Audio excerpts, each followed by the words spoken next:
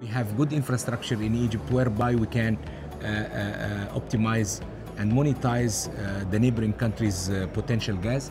Uh, and we are open for that. As I say, it's going to help for the well being and the welfare of the people in the uh, Eastern Mediterranean countries. And I think uh, that gas uh, will be the peacemaker in the, uh, in the Eastern Mediterranean uh, countries.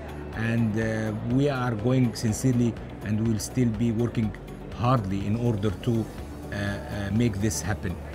So I'm optimistic.